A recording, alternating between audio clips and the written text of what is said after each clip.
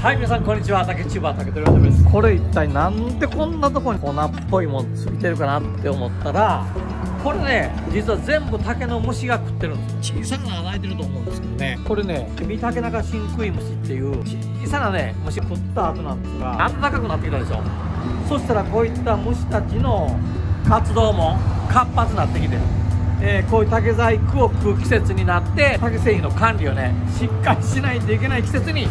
なってきたんです粉がずっと落ちてますけどね。皆さんのお手持ちの竹細工や竹かごなんかでもこういった粉が落ちてるようだったら必ず竹の虫が食ってますので小さな穴を見つけてこの穴を中心に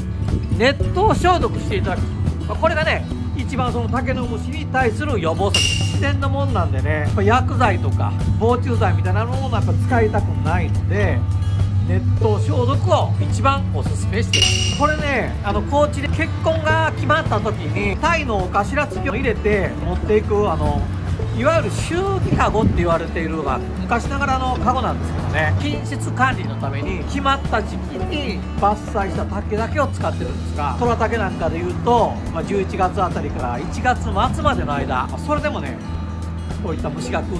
ということを皆さんにぜひね知っておいていただきたい。そしてまたあのもし食った場合でもこういった小さな穴を見つけてネット消毒して、えー、虫をできるだけ、えー、防いでいただきたいなというふうに思ってるんです。それとですね。これはあの根曲がり岳の手付きかごでちょっと持ってみてください。どう？あの何の変哲もないでしょ？普通のかごですよねところがですねなかなか気がつきにくいかと思うんですけどここ見てください。大きな穴開いてるんですよ。これだけ食うのはやっぱりチビタケナガシンクイムじゃなくて竹トラカミキリっていうちょっとこれぐらいのねカミキリを小さくしたような虫がいるんですが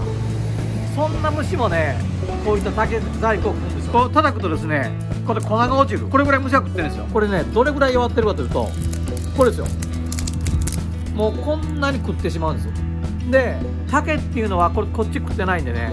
食ってない部分はこれ根曲がりだけですんで非常に強くてしっかりしてます。ところが虫が食ってしまうと早くこんなんですよほらあの触っただけでバキバキ折れてしまうぐらい。こうなってしまうとね防ぎようがないんでもうこうなる前に竹の虫の前兆を見つけて防いでいくことが大事なんですけど、まあ、これも持ち手をのけてねえー、このカゴの下の部分だけで使えますからね。もったいないですからそんな風にしたいとは思ってるんですけど。でやっぱ皆さんに知っておいていただきたいのはやはり竹って自然素材なんでまあ、こうやってどうしても虫が食ってしまうんだよっていうこと。でそれと30年前ぐらい僕が入社したての頃根曲がりだけでこんな虫が来るなんです竹製品って1個もなかったんですよ。さっきのそのマダケのカゴにしてもあんなに虫が食うっていうこと結構少なかったんですよ。でやっぱり最近ですね竹の花が全国的に咲いたりこれマダケもそうだしハチクそれから妄想竹日本三大遊葉地区っていう竹も全てですそれから鈴竹っていう竹えー、全部花が咲いて枯れてしまったりとかっていうことがあるんですがちょっとですね地球の温暖化とかそういったこととどうやって関係あるか分かんないんですが開花時期が近づいてくることによって竹の虫へのこう抵抗力みたいなものの低下っていうのをしみじみと感じてます竹を切る時期をはじめ今まで以上に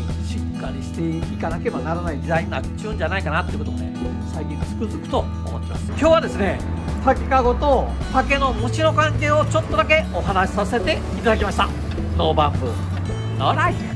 最後まで動画をご覧いただいてありがとうございます。グッドボタンチャンネル登録よろしくお願いいたします。